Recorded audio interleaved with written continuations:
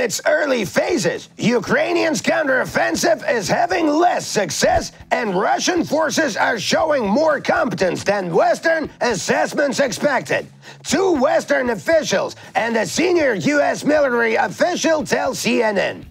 According to the Western assessments, Russian lines of defense have been proving well fortified, making it difficult for Ukrainian forces to breach them. That awkward moment when West gave a low rating on Rotten Tomatoes, but they forgot that it's not a movie.